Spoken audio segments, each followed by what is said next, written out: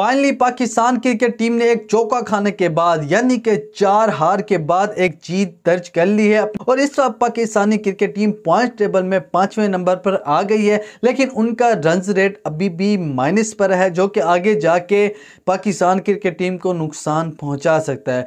Pakistan cricket team मुकर हदफ इकतीस over या उससे पहले हासिल कर लेती तो शायद उनका रन रेट पॉजिटिव हो जाता और शायद इसलिए इफ्तार अहमद को पहले बैटिंग करने के लिए लाया गया। मोहम्मद रिजवान को भी बताया गया कि उन्होंने इकतीस ओवर से पहले मुकर हदफ चेस करना है, लेकिन उन्होंने ऐसा नहीं किया।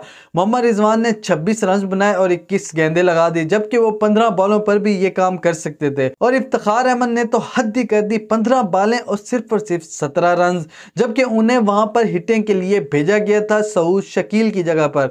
उन्होंने अपना काम नहीं किया जिसकी वजह से पाकिस्तान का रन रेट जो है माइनस में रह गया। खैर, फ़खर जमान और अब्दुल्ला शफीक से शानदार बैटिंग देखने को मिली। अब्दुल्ला शफीक ने अड़सठ रन बनाए, जबकि फ़खर जमान ने पाँच मैचों के रश के बाद शानदार वापसी की। सात छक्कों की मदद से चौहत्तर बालों पर इक्यासी रन बनाए और तीन चौके भी लगा डाले। इस तरह पाकिस्तानी क्रिकेट टीम ने सात विकेटों से बांग्लादेश को हरा दिया है। अब देखना यह है कि साउथ अफ्रीका और न्यूजीलैंड के मैच में हम दुआ करेंगे, पाकिस्तानी दुआ करेंगे कि न्यूजीलैंड हार जाए। फिर न्यूजी न्यूजीलैंड आगे पाकिस्तान से भी हार जाए और श्रीलंका से भी हार जाए और पाकिस्तान अपने इंग्लैंड और न्यूजीलैंड से बकाया मैचेस भी जीत जाए तो पाकिस्तान पहुँच जाएगा।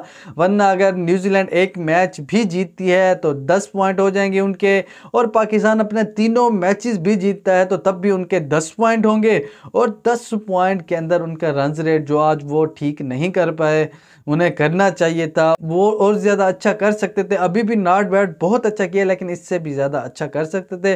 वह करते हैं कि न्यूजीलैंड का हार, फिर पाकिस्तान से भी हार और फिर श्रीलंका से भी हार और पाकिस्तान सबसे जीत जाए और पाकिस्तान फिर पहुँच जाए सेमीफाइनल में। वैसे हम डिज़र्व तो नहीं करते, लेकिन कुदरत का निज़ाम हम ज़रूर डिज़र्व करते हैं। तो हो जाए कि कुदरत का निज़ाम तो पहुँच जाए। पाकिस्तानी क्रिकेट टीम चैनल को सब्सक्राइब करें, वीडियो को लाइक करें। अल्लाह हाफिज़।